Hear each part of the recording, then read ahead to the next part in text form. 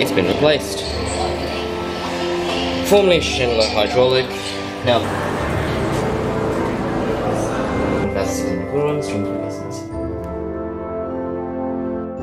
John Perry. Such.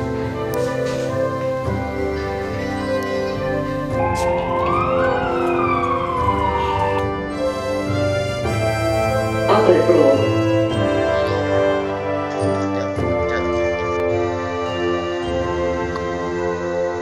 去 different